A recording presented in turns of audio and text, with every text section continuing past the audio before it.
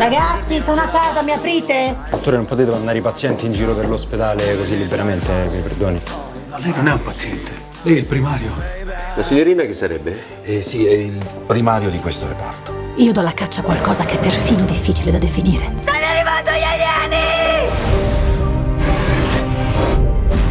E devo arrivare prima che i miei ragazzi oltrepassino la soglia, quella, quella che voi comunemente chiamate normalità, affinché possano vivere una vita che sia degna di essere vissuta.